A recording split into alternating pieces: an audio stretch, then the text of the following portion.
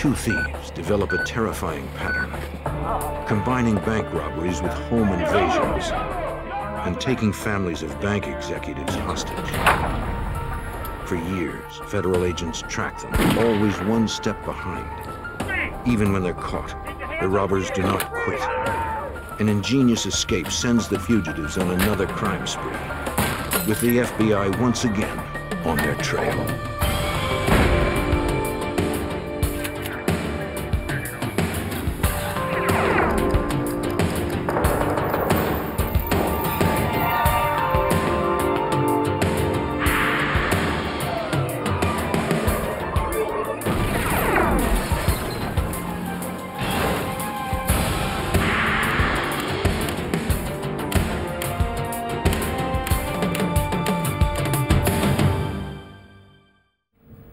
Often, convicted felons learn new techniques and find new partners in prison. In 1982, a group of former inmates began a spree of kidnapping and robbery. I'm Jim Kallstrom, former head of the FBI's New York office. For years, the suspects used false names and a network of criminal contacts to elude capture. To find them, the FBI had to pierce their tight knit circle and find new partners of their own.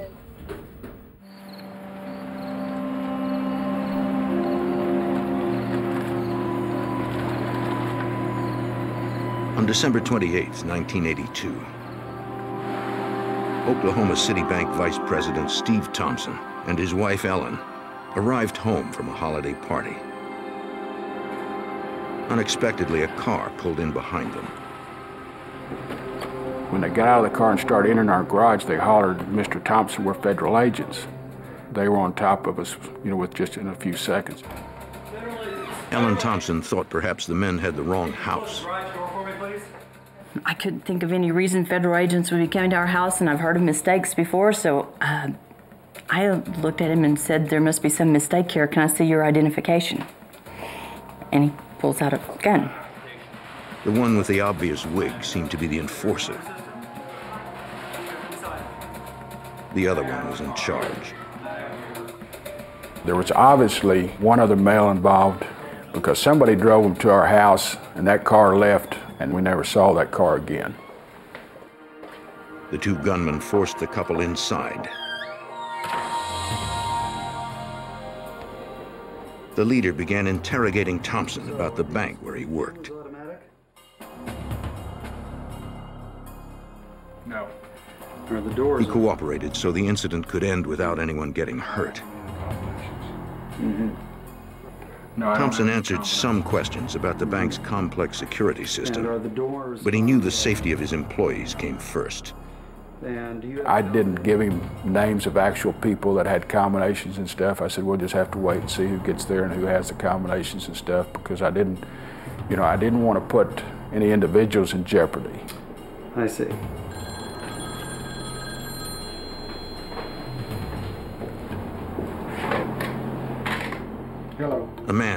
To speak with the gunman.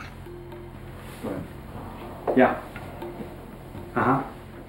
It sounded like they were Okay. finalizing plans for a robbery the next day. Well, call me back at 6.30. The leader warned Thompson to follow his orders exactly. Okay. He was trying to make a point with me, and, and, and he said, uh, if anybody sets off the alarms tomorrow, if anything goes wrong and the police come, he said, I'm going to kill the police. Tell me. He made the comment at that point. He said, uh, he said, I'm not going back to the penitentiary. The gunman held the couple hostage overnight. An hour before dawn, they forced the Thompsons to drive them to the bank. Woman? At 9 a.m., they waited for employees to arrive. She's wearing a black dress, floral print. They had someone stationed outside as a lookout. She's coming in the front door. During the robbery, one person was in contact with somebody by phone the whole time, and they were able to give him detail as far as how many people were coming to the front door. The gunman knew only certain employees had access to the multi-layered security system. We Got our visitors this morning, but if everybody cooperates, we'll be okay. Ma'am, I need to know, do you have the combination to the safe? No. I need you to come with me. Those without codes or combinations were shoved into a bathroom holding area. What's going on? Blonde, tall,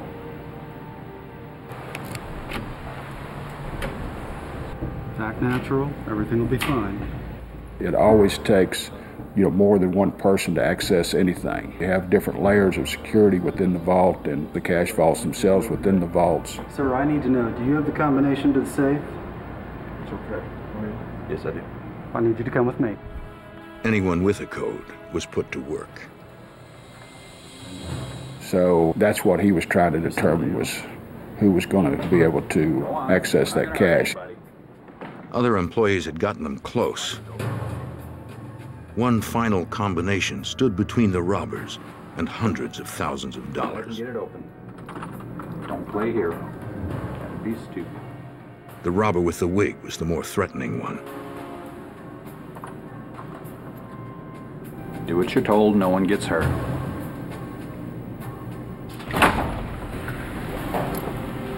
Good, now get in there and fill them up.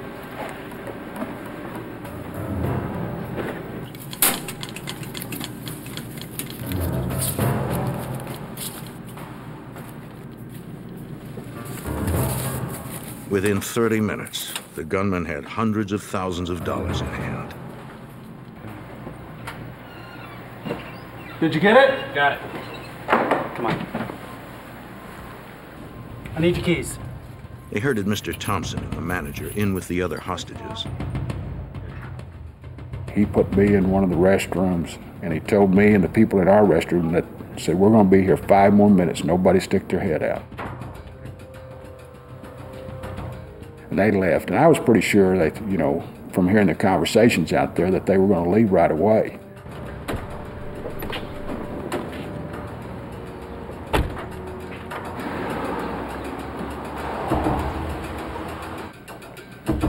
No, wait. So I probably waited, uh, you know, probably a minute and a half before I came out.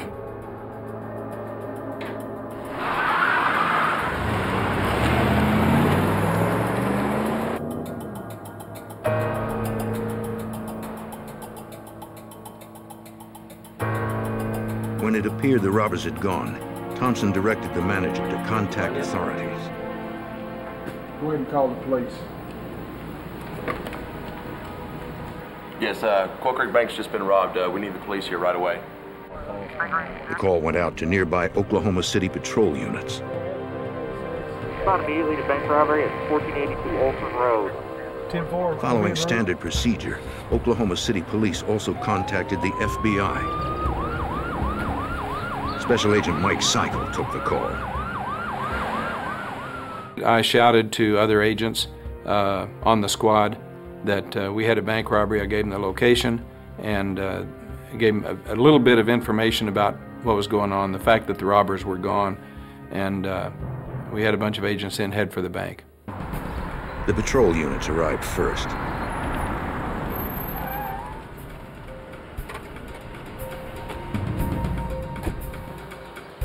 They approached quietly and cleared the bank, making sure no gunmen were still inside. FBI agents arrived minutes later. The Hobbs Act, enacted in 1946 to protect federally insured depositors, makes bank robberies the jurisdiction of the FBI. It meant a nationwide police force would investigate the crime and go after the robbers. The Thompsons described the ordeal that began in their home the night before. So no one was hurt. Didn't have anybody hurt. It had been a sophisticated, well-planned crime, with no evidence left behind. These robbers must have struck before.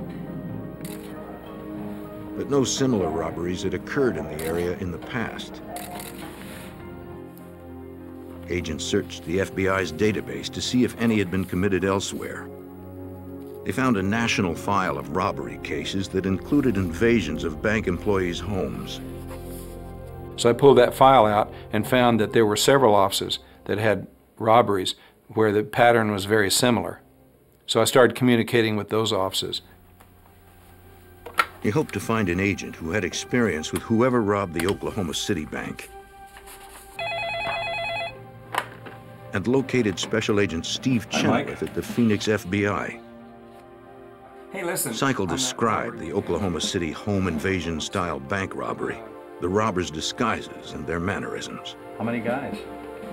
Chenoweth immediately named two bank robbers he knew, Terry Conner and Joseph Dougherty, as having operated that way. All those things are, are typical of what they had done in the past. And so a lot of that, uh, once I learned the actual details of what had occurred in Oklahoma City, just uh, pointed a finger right at those two.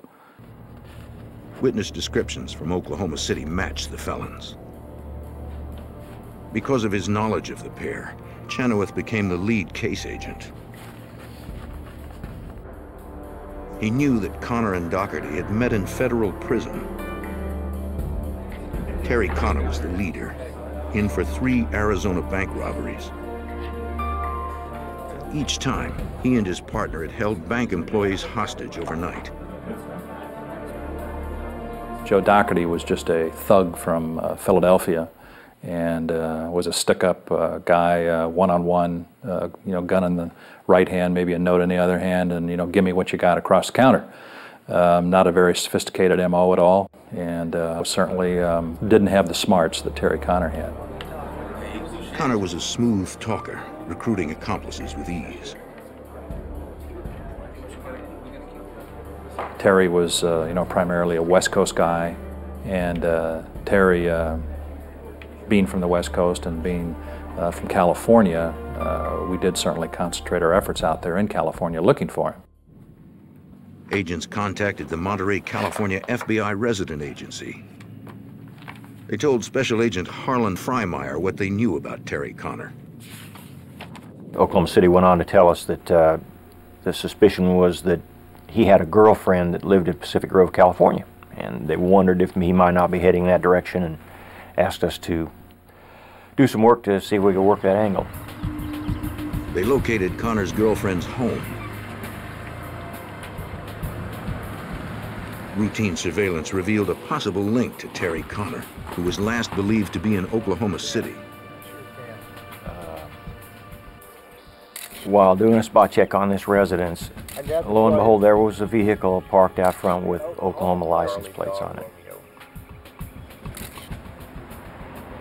So I notified the Oklahoma City office, and uh, they didn't actually have a record of that vehicle that they could positively tie into Terry Conner at the time, but they thought it might have been one that he purchased under an alias. I'll tell you what, you ever seen... While the girlfriend was away from the house, agents spoke with her gardener. Identifying themselves, they told him they were conducting a federal investigation. He needed to be truthful and discreet. They asked if he had recently seen any men at the residence. He hadn't, but recalled overhearing the girlfriend talking about meeting Conner the following week. The information I got was specific enough that we knew that on a given day, Terry Conner was going to meet somewhere with his girlfriend, and so I felt at that point in time that we were very close to Terry Conner. Agents followed Conner's girlfriend for days, learning that she drove several different cars. They placed tracking devices on each of them. With receivers in FBI cars and airplanes, they tracked her whenever she drove. But on the day she was to meet Conner, the signal faded.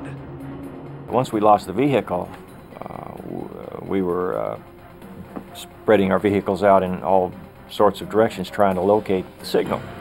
And we had an airplane assisting us that day, and the airplane uh, uh, gave us the signal out on the highway, and uh, we picked her up again. Agents traveled toward the location of the recaptured signal. When they spotted the car, it was parked in front of a restaurant. There was no sign of the girlfriend or Terry Conner or anybody else that was associated with the car, so we uh, made a plan right then to establish full-time coverage on the car until something happened. Roger that. Stand down. Alright guys, we're still in stand down mode, stand down. A SWAT team waited, watching for any sign of the suspect.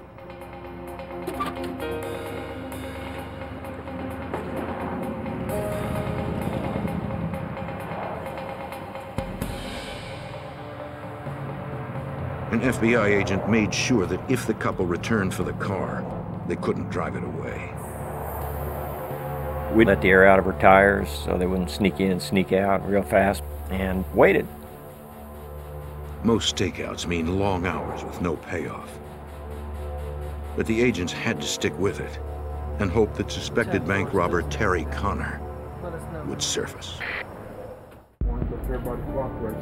After a hostage-taking and bank robbery in Oklahoma City, the FBI developed two suspects, Terry Conner and Joseph Dougherty. Two months later, and 1,500 miles away in Atascadero, California, agents staked out a restaurant where Conner's girlfriend had left a car. They believed Conner was in the area, planning to meet her. The long hours of the stakeout paid off for FBI Special Agent Harlan Freimeyer. We just happened to see Terry Conner drive into the parking lot with his girlfriend, and uh, it doesn't usually work this way, but the photographs we had of Terry Conner were of such quality that it was easy to make instant recognition. So we knew that we were about to uh, accomplish our mission.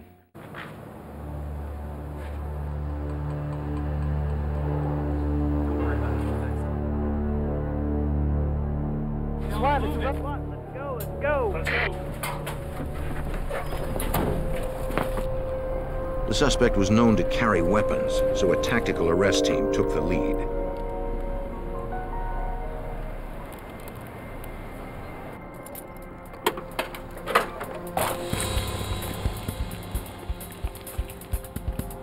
FBI, FBI! They struck fast, giving Terry Conner no opportunity to flee.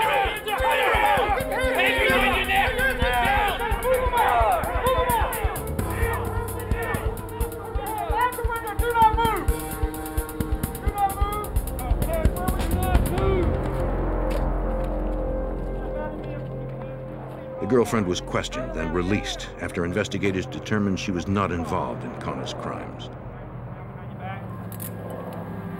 Give me your left hand. Agents then discovered an unexpected benefit to deflating the tire of the girlfriend's car. By the time we got to the point where we were making our arrest, he had already popped the trunk on his car. And of course, without a search warrant, we couldn't have gotten in there if he hadn't popped it for us. And so once the arrest was made, there we had in plain view the contents of his trunk, and that was useful to us because there was a briefcase that we opened and found a substantial amount of money. Nearly $40,000 in cash bore serial numbers, matching some of the money stolen during the Oklahoma City robbery. Agents also found a large diamond and a jeweler's receipt for six more.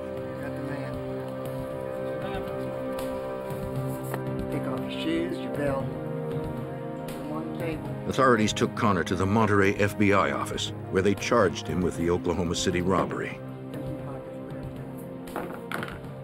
In handing over his personal effects during the intake process, something of interest emerged. A sales receipt from a Reno, Nevada car dealership. The buyer was listed as Russell Anderson, perhaps an unknown alias of Conner or Dougherty. He had given an address in Santa Maria, California. My instinctive belief was that that address might well be the address of his partner Dougherty. So we put out the word as fast as we could to our counterparts Southern California, asked them to get out and check that address. A SWAT team immediately went to the residence and prepared to make entry. They suspected Dougherty was inside, perhaps armed. Flashbang grenade was designed to stun anyone in the house.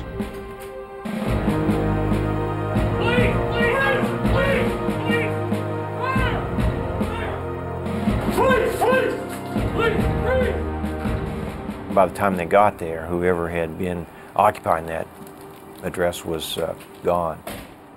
I fear that possibly they were alerted by Terry Conner in, in the book-in process when he was given his uh, phone call.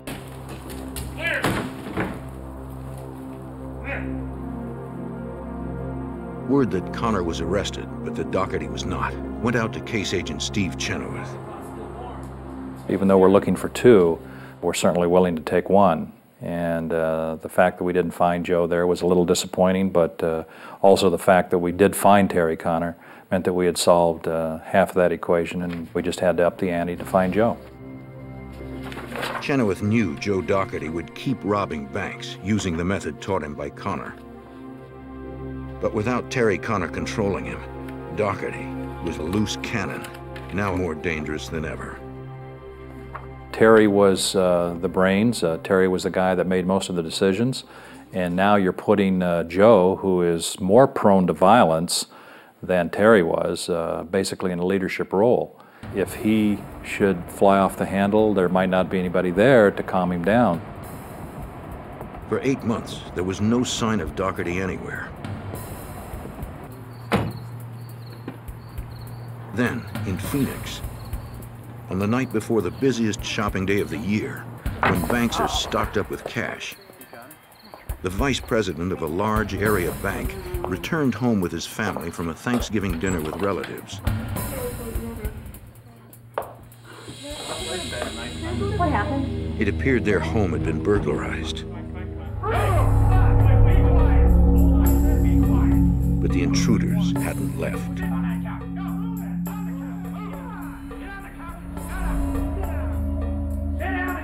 Through the night, the two robbers held the banker and his family hostage. We just want to rob the bank. Just calm down. It looked like Joe Dougherty was leading a new partner. Take it easy. And now that he was in charge, Do you understand? anything could happen. Settle in and be friends. Thanksgiving, 1983. Ride to the bank. They're told no one gets hurt. Give me the keys. Two intruders held a Phoenix banker and his family hostage overnight. Go start the car. Hours before dawn, Joe Dougherty and his new partner were ready to rob the bank.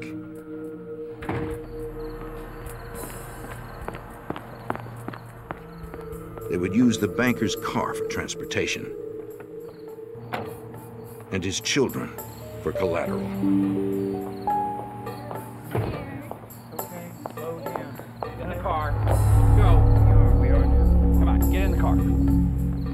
Dougherty never put down his weapon. Remember, I've got the gun on your wife. Get in the car.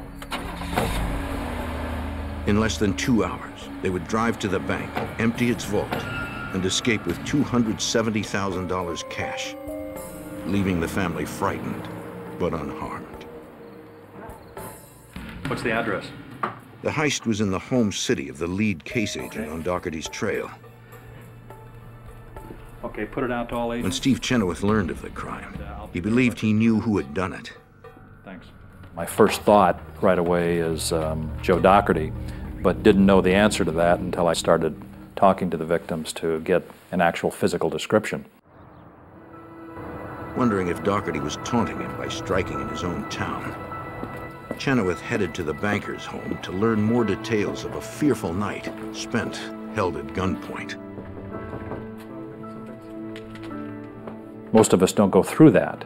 And uh, to go through it for an entire evening uh, with your two children uh, is a very scary thing. And so uh, they were glad it was over, and they were certainly glad to see us come. Jack, can you tell me just a little bit more about The banker described the assailants, saying both wore obvious wigs, and the bigger one was in charge. Once I got the information, um, the physical description of the leader uh, fit that of Joe Dougherty uh, right to a T. So I knew that we were dealing with Joe, but here again, um we had another individual that he had picked up, and we didn't know who that guy was as his partner. It's normally there. The family described how the pair had acted. Dougherty and his new partner were more volatile and threatening than he and Conner had been. There's two people. But as before, they left agents with no leads. Bigger guy. One bigger guy that. Six months later, and 900 miles to the northwest in Reno, Nevada. Local police called the FBI to another robbed bank. Once again, the heist was preceded by a hostage-taking the night before. But this time, the level of violence had increased.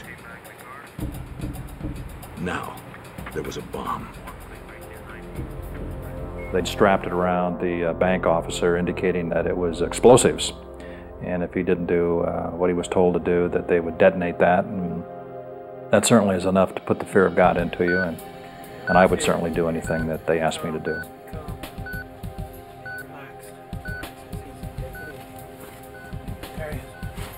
I want to stay with him. I'm right outside, Bob.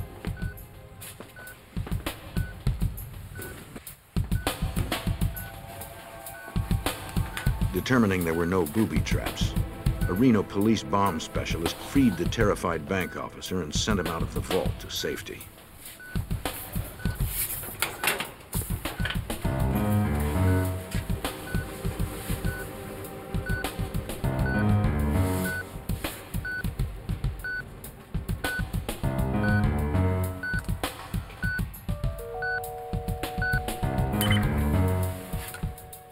Expert cut off the power supply, though he later determined the device was a fake.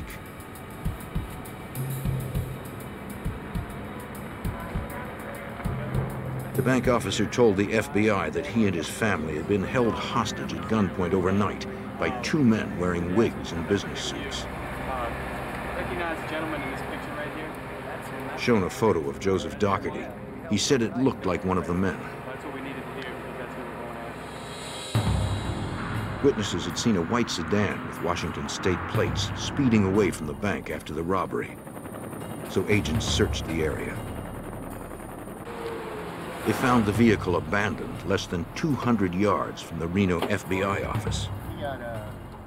It seemed Dougherty was again boldly challenging the FBI. A check of the plates showed it was registered to a man in Spokane, Washington.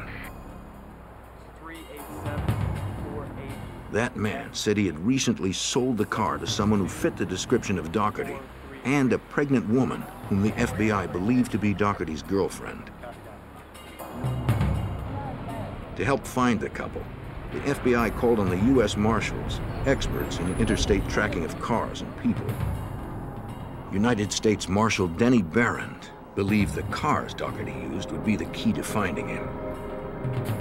As fugitives, Joseph Dougherty was very smart. He changed cars like some people change socks. Uh, he would uh, buy cars, sell them, sell them back to the original owners, sell them to a used car lot.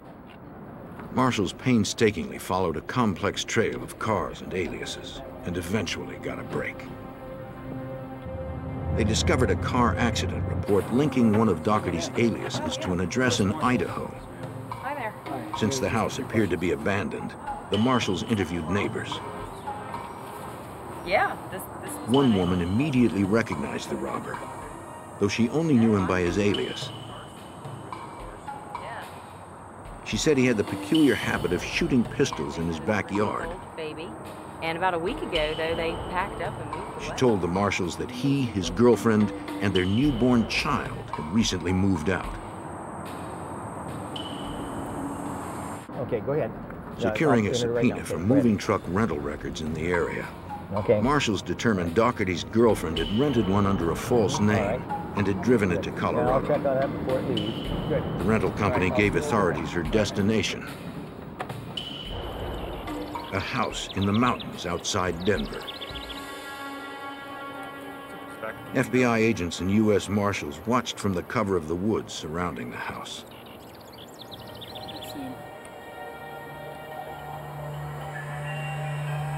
Because there was now a baby involved, they had to be especially cautious.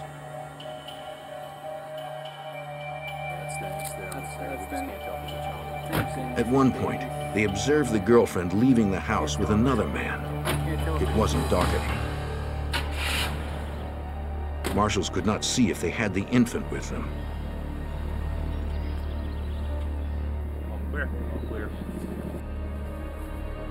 Other marshals followed the two into town and watched them enter a store without the baby. I said, go to the car that's parked in the shopping mall parking lot and look inside and see if they left the baby inside the car.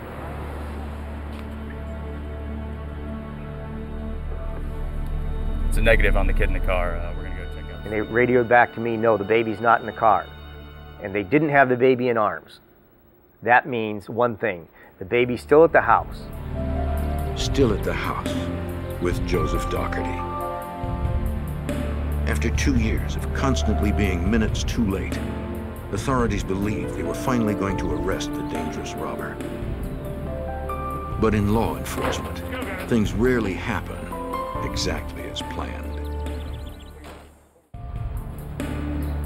Two years after Terry Conner and Joseph Dougherty robbed an Oklahoma City bank, Conner had been captured, convicted of armed bank robbery, and sentenced to 25 years. The FBI believed his partner, Joseph Dougherty, had continued a spree of hostage-taking and bank robbery, but that they finally had him cornered in a Colorado house. Earlier that day, they had arrested the fugitive's girlfriend and a male associate. The girlfriend confirmed that Dougherty and their infant child were still inside the house, and that Dougherty was armed. Okay, y'all got that? There's a small child in there? Yes, sir. Okay, do not fire except from his order. Got it. You ready? Right. Set up the front. A SWAT team fanned out in stations around the house.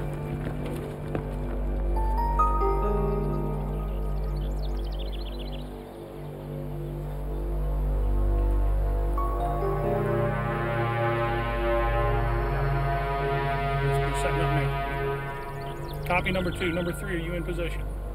Same thing, just moving around. Go. Also watching was U.S. Marshal Denny Barron. Joseph Dougherty stepped out of the house, positively identified, and with that he took a 357 Magnum and started to fire into the woods.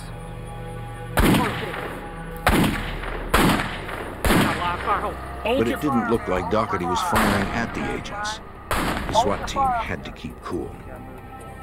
Guys, hunker down. If you're not in danger, don't return fire. Don't return fire unless you're being threatened.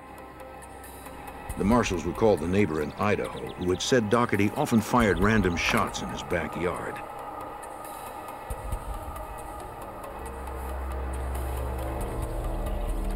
They believed he didn't know they were there.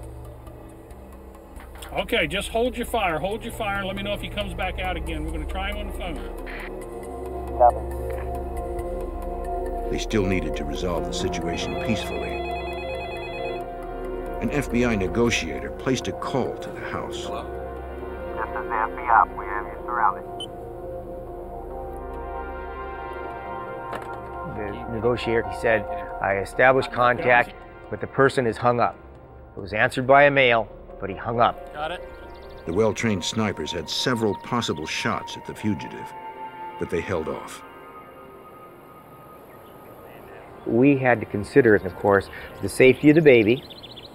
We had to consider the safety of other people that might be in the home that we didn't know about.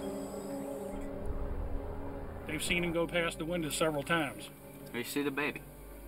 Has anybody caught sight of the child? Anybody seen the child? Still, they had to be ready if Dougherty started firing at them. Once again, try to get him on the phone. Stand by, be ready. The negotiator called the house again.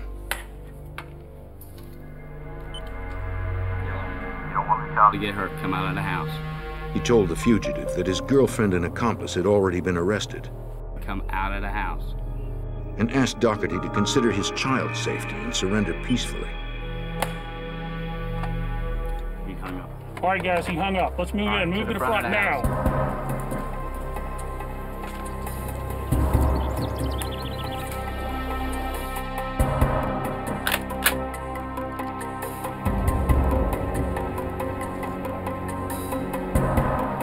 through the window. They saw him approaching the door. Put your hands in now! Put your hands hands! Turn around! Turn around! Back up on my command! Back up now! Back up!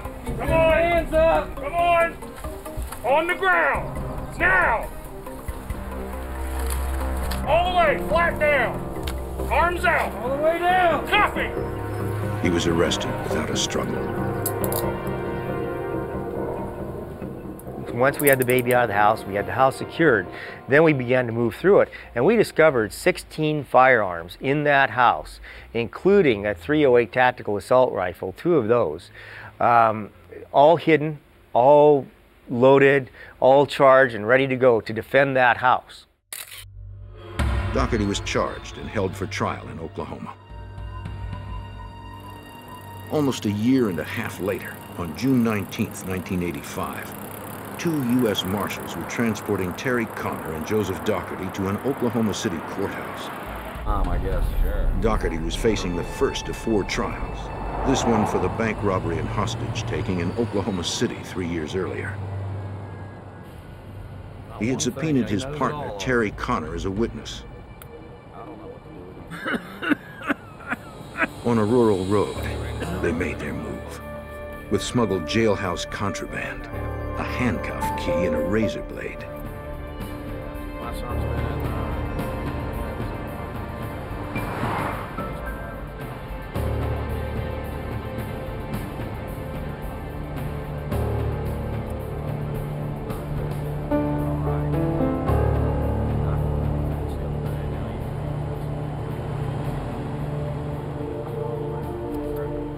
Never planned on arriving at the courthouse.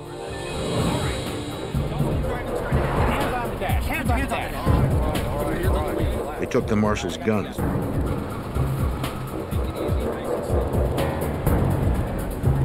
Pull over. and ordered them off the road. Yeah. Okay.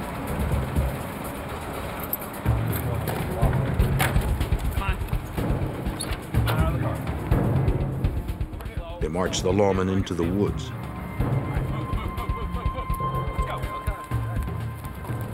The felons were desperate for freedom, and it seemed no one could stop them from gaining it.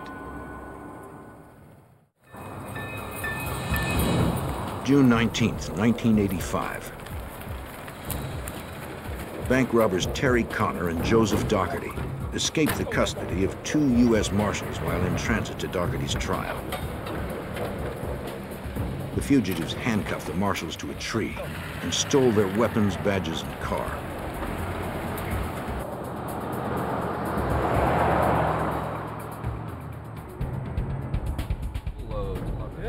They were mobile, armed, and for now, no one knew they were back on the run.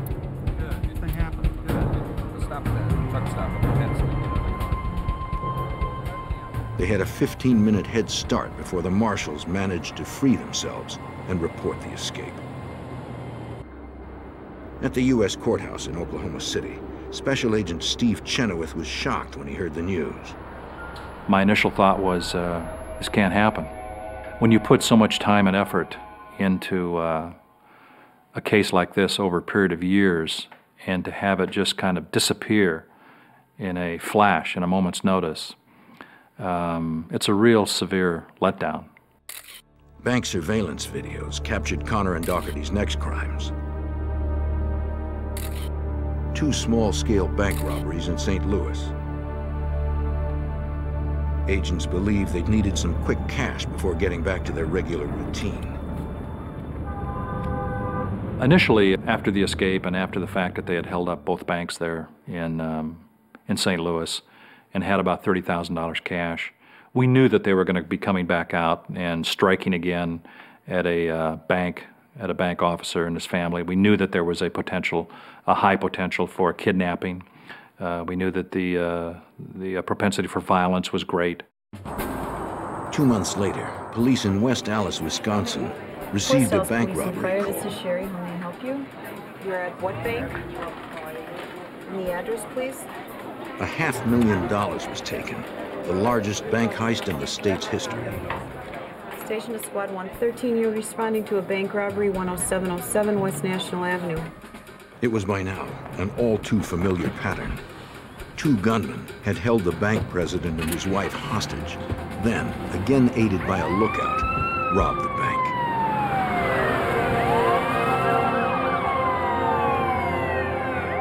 Fingerprints placed Conner and Dougherty at the scene. Local police called the Wisconsin FBI. Special Agent Dan Kraft was assigned the case. Reading witness statements, he saw that the fugitives were bolder than ever, no longer even using disguises. They did nothing to conceal their identity. They didn't do anything to really help by saying their names, but he, uh, Terry Conner did mention to the bank president's wife, he said, uh, the FBI is going to know who we are. Because of the continuing danger Conner and Dougherty posed, both were placed on the FBI's 10 most wanted fugitives list. Media coverage drew many leads. Use your help on it. One call led agents to a man who might have been the robber's lookout outside the Wisconsin bank. Agents issued an APB for the alleged lookout's car. Days later, a state trooper pulled him over and called the FBI. Um, what got going on here? Once they identified him, they took him in. There was an active open warrant for him out of uh, St. Louis for violating his federal parole. So we arrested him and I brought him downtown to the FBI office. At first, the man refused to answer questions about Conner and Dougherty. So we would talk. And this went on- on for five days. But it wasn't a sweating. I mean, you see on television where it looks like an interrogation and you're getting in somebody's face. No, it was just two men talking. Finally, Kraft won him over, Thinking about it. Yeah. But he was afraid of facing Conner and Dougherty in court. Talk about it, and let's just talk about it, you know, and it's. Uh, I'd like to cooperate, he says, but, you know, I won't testify. So you don't have to testify. We don't need your testimony. You know, we've got these guys locked in. I just need to know how they think. I need to know what they do and how they do it so I can get one step ahead of them. understand what they're doing. The suspect agreed to talk in the hopes of a reduced sentence. You know, what they're.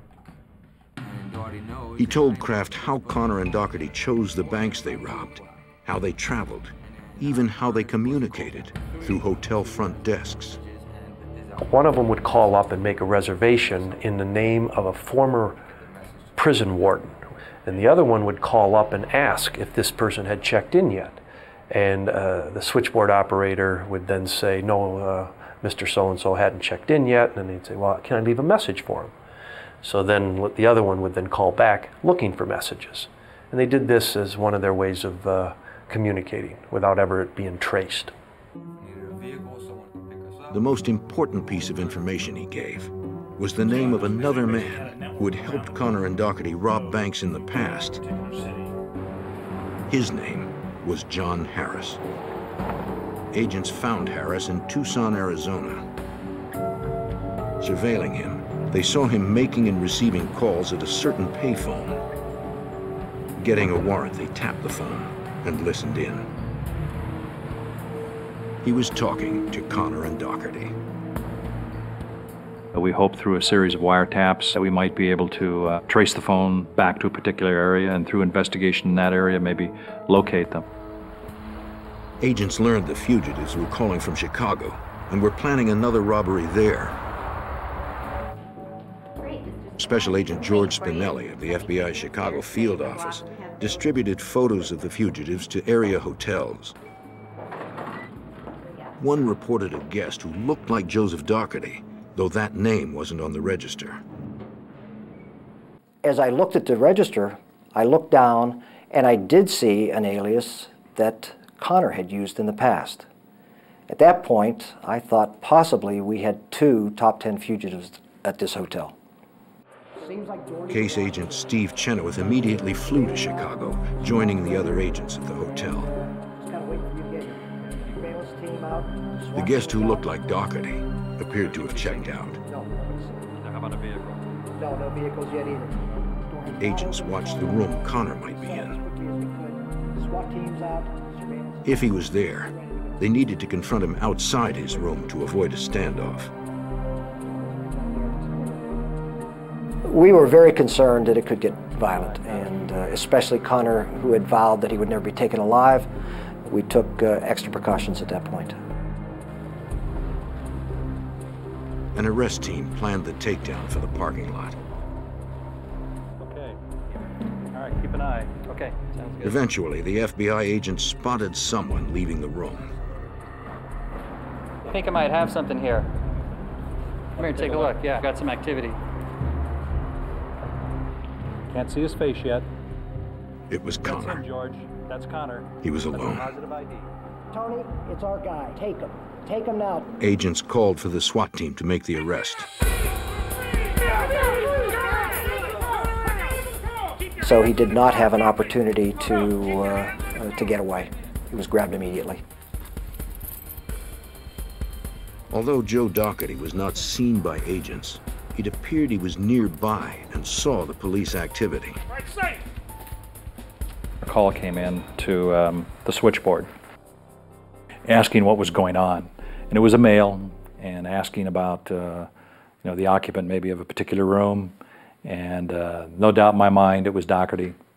And he was trying to find out what happened. Agents searched the area, but did not find Dougherty. The one thing they knew was that he would commit more robberies with a new partner. This guy doesn't have any other choice. He can't do a robbery by himself. He's got to reach out for somebody else.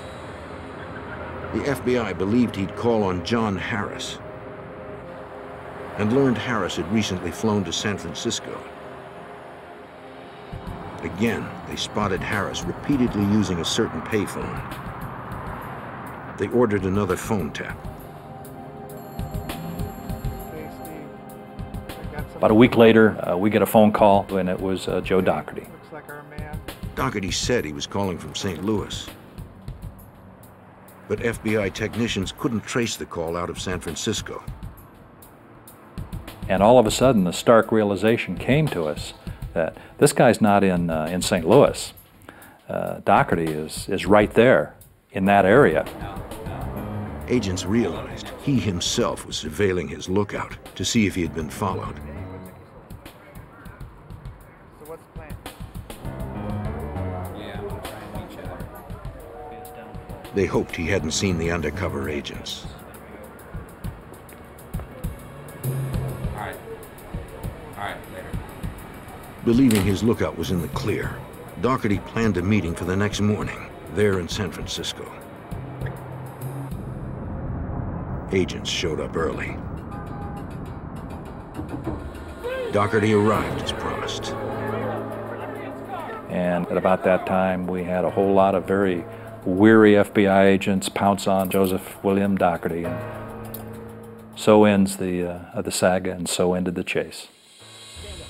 After a nationwide manhunt that lasted more than a year, Terry Conner and Joseph Dougherty were tried for their most recent crimes.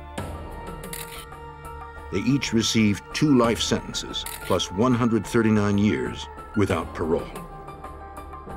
They are kept in separate federal prisons. Their partnership forever terminated.